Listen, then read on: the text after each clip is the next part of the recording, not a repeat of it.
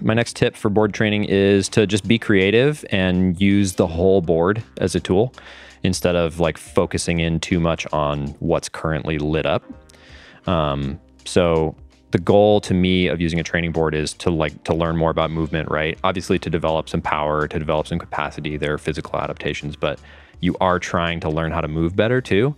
And from the movement viewpoint, even if you are climbing, you know, this problem that has these eight holds lit up, really all the holds are still there for you to learn, right? So using other feet to make the moves more stable or like grabbing closer handholds to coordinate the first part of the move and then like bumping from there to the hold you're going to to coordinate the second part of the move like those kind of intermediate strategies can really help like bring things together a lot faster and it helps you like kind of break things down into pieces right even like if you have a problem where there's one move you're really struggling with and you have all the other moves dialed and you want to like make that intermediate step towards sending that problem we'll just like add one hold to it and then try to send it with that hold you know and if it's a multi-session project try to send it with that extra hold in every session that you work on that project mm. and you're getting a lot of reps on the other moves but you're also like building the confidence of like actually like quote sending something mm-hmm. unquote you know even if it's not a quote real unquote boulder um, that's been really helpful for me, especially like on the moonboard where a lot of it is just like really big, powerful moves to like reasonably good holds. Like a lot of the time, just adding a foot, mm-hmm. you know, lets me kind of do an easier version of that move. And then I'm kind of like, okay, that's what it feels like to grab that hold, you know? Totally. And similarly, like if there's a hold you really struggle with, like on the moonboard, I, am sorry, moonboard enthusiasts, I don't remember the names of all the holds, like the grid, but the that mm. really uh, messed up black undercling, everybody's gonna know the one I'm talking about. Yeah um, I was like trying a 7C, I think, uh, or maybe it was 7B plus or something that had that on it. And I was like, this hold is like messed up. And I went back and like tried a bunch of easier problems where I could find that hold and I just got better at holding that hold. And I didn't go back and send the benchmark because just because my season kind of ended, but I was getting a lot better on that black undercling for sure. And I think that's a pretty like valuable strategy. Yeah. Yeah, that's really smart. Yeah. I um I often find on the moonboard, especially, I'll just kind of hit a wall. Like mm-hmm. I'll be able to do 7B and then I can't touch, you know, some move on the 7B plus or 7C I want to do. Mm-hmm. And uh, I think that's a really good way to to create something that's kind of an intermediate step. Yeah. Add a I mean, foot and do the same hard move. Or... Th- this is really like a, a microcosm of something that I think is super valuable in getting better at climbing, which is like noticing commonalities of the things you want to do and then just trying to bring some intention of getting better at that thing into all your climbing, right? So like right now I have, you know, across a bunch of different crags, like three different projects that have big left shoulder moves. And so I've just been doing more big left shoulder moves, you know, and even like like here in Leavenworth, in Forestland, there's like a V6 called Cruise Control that starts with like a really intense left shoulder lock off, and then you you move to some other holds and you do another really intense left shoulder lock off. So like this season, I've just been doing that boulder every a couple times every time I walk by it because mm. I'm like just trying to get better at that left shoulder because I want to do those other climbs. You know, it's not perfectly related, but I think it does help to kind of have some like momentum and some intention with those kind of things. And a training board that is the magic of a training board is you can reduce the climbing to its like atomic sort of mm. concepts and, and work on one thing at a time. Yeah.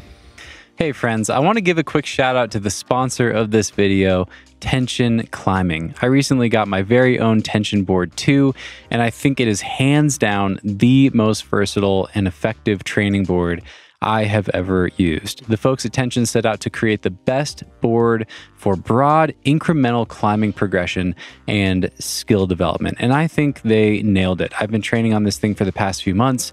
I've gotten way stronger overall. And I set some replicas of one of my projects, and I was able to do the crux of one of my dream boulders the very first day of the season, which I had never been able to do before. They thought a lot about the spectrum of difficulty as well. So the TB2 is great for beginners. It's also great for pro climbers. Climbers of all difficulties can make a lot of progress on this board. Head over to tensionboard.com slash nugget to learn more about the Tension Board 2 or use the Tension app to find a TB2 at a gym near you. Link in the description below and enjoy the rest of the video. And my next tip is to um, my next tip is don't be afraid to break the rules. I think there's there's two different aspects of this. So the first one is for newer board climbers. You know, I'm, I'm thinking about the Moonboard 2016. Like if you're a V4 or V5 climber, it's really hard to start doing problems on that thing. Like the easiest thing on there is like hard V4, I think. Yep. And uh, it doesn't have to be that way if you're willing to break the rules. You know, it's really hard to set climbs that use really juggy feet and actually make sense as climbs. But like another great example is like if you want to learn how to use the yellow holds on the moonboard and they're just a little bit too difficult, you can make up climbs that use juggy feet. They won't make sense if you put lights on there because you could just break the beta, but it's still helpful. It's Right. still helping you get used to these more intense holds and it's yeah, more or less what you were talking about. But I think taking it to another level where forget the lights, forget setting problems that make, you know, sense in air quotes, break the rules, do your own thing. Um, that can be really helpful to kind of get unstuck or to make a breakthrough. And then the flip side of that is for more experienced climbers. I think people um, could benefit from breaking the rules when it comes to things like practicing heel hooks on the board. Like that's kind of taboo and like it's not allowed or whatever. People just want to use it as a strength only tool. Wait, is that taboo? I don't know. Some, for some people, it I'm just joking. You know, I have I um, have to. I've always heel hooked on a board, so don't at me. Yeah, I mean, Keen. I just did an episode with Keenan Takahashi, and he talked about this. Like, it kind of comes out in the wash. Like, if you are really good at, you know, heel hooks and toe hooks and all these things, then maybe it's good for you to climb straight on and avoid those things on the board to target your weaknesses. Right. But at the same time, like, if you get good at those things on the board and you're doing problems that are hard still, you're still doing something physically hard and you're building those skills to another level that you can apply outside. So, Sure. yeah, just consider your goals and uh, let you, you know, give yourself permission to break the rules if it's going to be, uh, if it's going to create a better training situation for you.